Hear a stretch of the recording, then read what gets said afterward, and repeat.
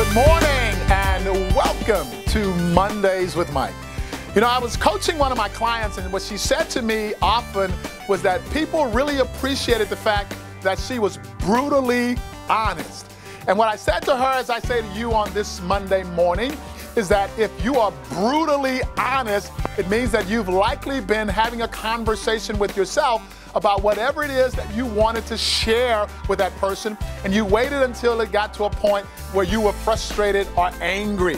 So when we offer just simple honesty to people and give them authentic feedback, it doesn't have to be brutal at all because words create pictures and those pictures create emotions. So think about that for a moment. If it is brutal honesty, then it's probably quite painful as well. So take a look at how you are offering whatever feedback that you're offering and absolutely be honest, but no need to be brutal. And thank God it's Monday.